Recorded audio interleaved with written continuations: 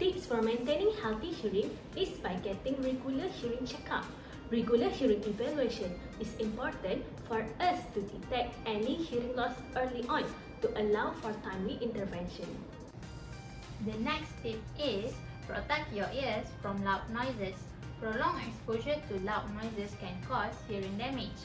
Use hearing protection devices such as earplugs or earmuffs in noisy environments like in concerts, in construction sites, or when you are using a loud machine.